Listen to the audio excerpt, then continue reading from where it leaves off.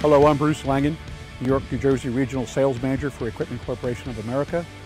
And today we'd like to review some basic information on Bauer BG rigs and Bauer rotary heads. Bauer offers many types of BG style machines, starting with the BG15H all the way up to the BG72V. Behind me is a Bauer BG36H premium line machine. It's one of the most popular and adaptable machines on our rental fleet to date. Let's start off by giving you a basic correlation of what the numbers mean on each model machine.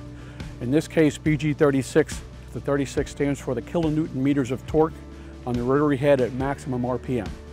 The next segment I'd like to cover is the difference between the KDK rotary heads developed by Bauer.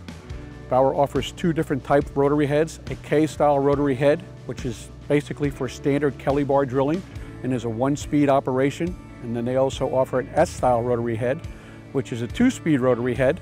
The S-style rotary head is a multi-gear, multi-speed rotary head, which works very well in, in ever-changing soil conditions.